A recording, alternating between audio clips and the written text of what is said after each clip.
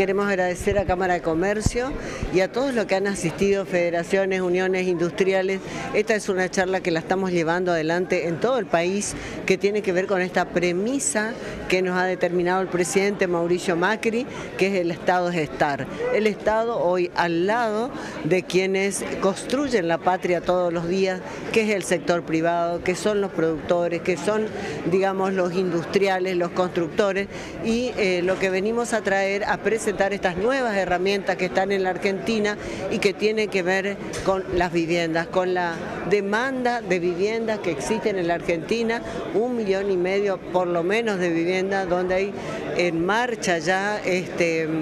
varias unidades tanto de techo digno como este como Fonavi. Y esto tiene que ver esto que vamos a plantear tiene que ver eh, con las viviendas a ejecutarse en los lugares en las ciudades donde el sector de la construcción tiene un rol importante donde son actores que tienen que ver no es cierto con este, estos créditos que hoy existen desde Banca Nación y que nosotros lo vamos a explicar en esta jornada ya que si bien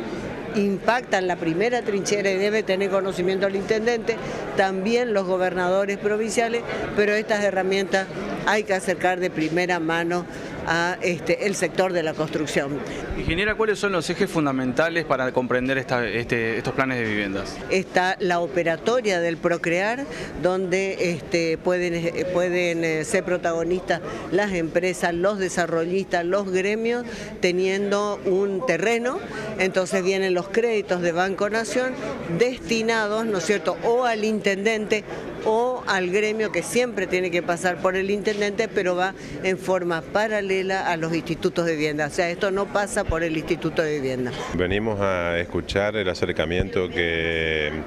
que tiene el sector de Nación para los emprendimientos públicos y privados, con el financiamiento desde Banco Nación.